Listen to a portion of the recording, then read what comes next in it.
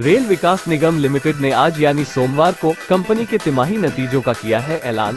Quarter result के साथ साथ डिविडेंड देने जा रही है कंपनी। कंपनी अपने निवेशकों को हर शेयर पर तीन दशमलव छह शून्य प्रतिशत यानी शून्य दशमलव तीन छह रूपए का डिविडेंड देगी। तिमाही नतीजे आने के बाद बुलेट ट्रेन की रफ्तार से दौड़ने लगे रेल विकास निगम के शेयर। आपको बता दें कि एल के पास रेल विकास निगम के लगभग तेरह करोड़ उनतीस लाख तैतालीस हज़ार शेयर है।